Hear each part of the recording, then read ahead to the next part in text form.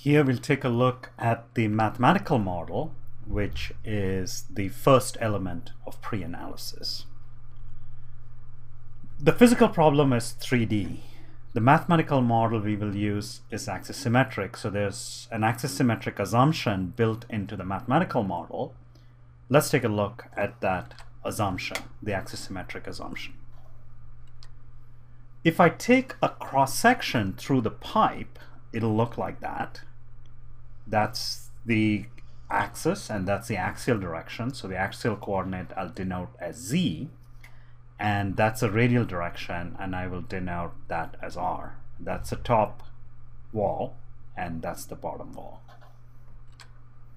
And if I look from here, I will see um, the circular cross section and I can put, you know, let's say that would be my x and y coordinates. But here in the axisymmetric assumption, I won't be working in terms of x and y coordinates. I'll be working in terms of the radial and axial coordinates. And in this view, let's take a look at what that radial coordinate would look like. If I take a point here, okay, the radial coordinate would be the distance from the axis. So that would be the radial coordinate r, pardon my chicken scratch.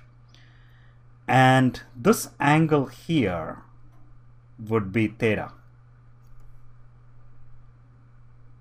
So, and that would be a circumferential coordinate and you are, you know, if you change theta, you're moving in the in the circumferential direction. So in the axisymmetric assumption, we switch to the cylindrical coordinates, radial, circumferential, and axial. And we knock off any dependence on the, the circumferential coordinate, which means that, you know, I can change theta to whatever value it is, to whatever value, keeping everything else the same, and say the velocity or pressure won't change which means that if I draw a circle, and pardon my chicken scratch here, okay, if I draw a circle, the pressure and velocity are going to have the same values along that circle. That's the axisymmetric assumption. For instance, pressure is just going to be a function of the radial coordinate and the axial coordinate. And the velocity, instead of decomposing it into the usual, you know, x and y components, we are going to decompose it into a radial component and an axial component. And then there's also a circumferential component that's going to be like that, and that's going to be like a swirl. We'll, we'll say that that's also zero. Okay, so this radial velocity, if I go to some point here, that radial velocity will be in that direction. So that'll be actually v sub r.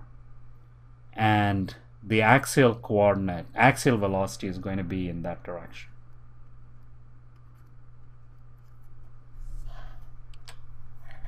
And each of those um, velocities, v sub r, that's a radial velocity, is going to be a function of just the radial direction, the axial direction, and similarly for the axial velocity.